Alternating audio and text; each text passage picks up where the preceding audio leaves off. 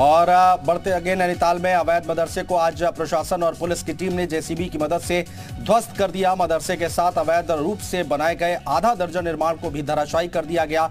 अवैध मदरसे को लेकर कुछ दिन पहले प्रशासन को बच्चों के शोषण को लेकर शिकायत मिली थी।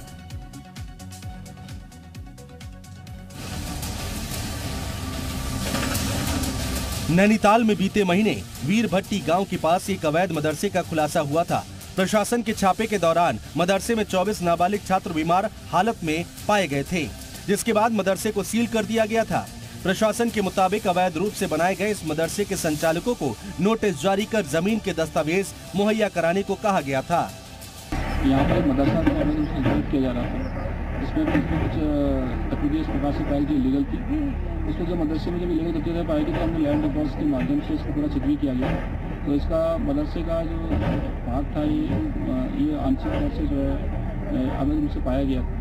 और इसका जो क्षेत्रफल दो सौ छियासठ पॉइंट ज़ीरो फाइव वर्ग मीटर है। और इसके पश्चात हमने इनको नोटिस प्रस्तुत किया।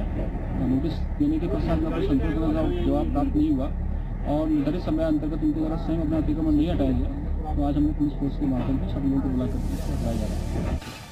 नैनीताल में जूली कोट के वीर भट्टी पुल के पास एक अंजुमन इकरा नाम से साल 2010 में मदरसा खोला गया था, जिसमें कक्षा पाँच तक के मुस्लिम बच्चों को तालीम दी जाती थी। अचानक एक परिजन ने जिला अधिकारी को पत्र लिखकर मदरसे में बच्चे के शोषण को लेकर शिकायत की थी, जिसके बाद जिला प्रशासन की टीम पुलिस के साथ मदरसे में पहुँची थी।